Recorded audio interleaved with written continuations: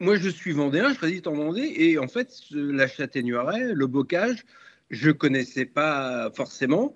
Et quand l'Office de tourisme m'a invité à découvrir ce super coin 100% euh, verdure euh, de, Vendée, j'ai dit OK, banco. Euh, et en fait, une fois sur place, je me suis rendu compte que c'était un lieu génial pour décompresser, mais en même temps pour d'abord décompresser parce qu'il y a du bocage, c'est très vert, c'est très nature, mais en même temps, c'est super à faire en camping-car ou, à vélo ou à pied. Hein, euh, voilà.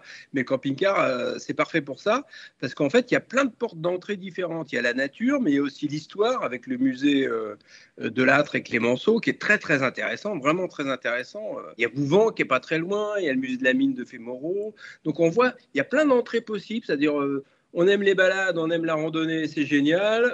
en camping-car, c'est super parce qu'il y a plein d'endroits où s'arrêter, des campings, des coins sympas. Euh, on aime l'astronomie, il y a les chemins aux étoiles. Euh, on veut, il y a, l'histoire, eh ben, il y a de l'âtre. Il y a la tour Mélusine. Enfin voilà, il y a plein d'entrées possibles. Euh, on peut manger local. Enfin vraiment, moi je suis. allez, allez dans le pays de la châtaigneraie, allez-y. Non, non, mais je suis vraiment, je suis devenu fan quoi. Déjà, il faut convaincre son rédacteur en chef. Euh, alors, une fois qu'on est allé sur place, ben, on est convaincu. Hein. Il n'y a pas besoin d'inventer ou de faire des artifices pour dire c'est génial. Puis après, il bah, euh, faut écrire simplement, faire des belles photos, et puis, et puis vendre ça à son rédacteur en chef, et puis qui te fait confiance parce qu'il sait que tu es du coin, donc il va pas te, on va pas emmener nos lecteurs dans un coin euh, qui, est, pas terrible